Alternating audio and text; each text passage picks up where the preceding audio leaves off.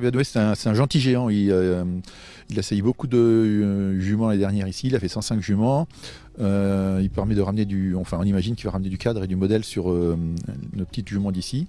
Et il est froid, il a un cheval facile, un cheval très très dur qui a couru de 2 à 5 ans avec victoires, 4 victoires de groupe 1.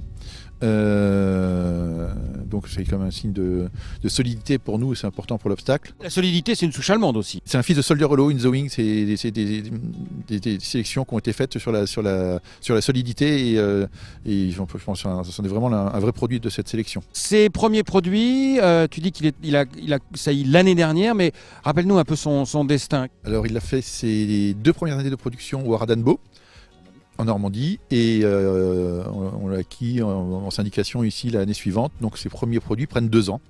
Il y en a deux qui sont passés au Vendée-de-Ville, qui ont été bien vendus aussi, toujours dans le contexte, hein, avec beaucoup de modèles, des grands chevaux un peu baies comme lui, bien sortis devant et qui marchaient très bien. Voilà. Et c'est un, cheval qui suscite l'intérêt de pas mal de- d'entraîneurs.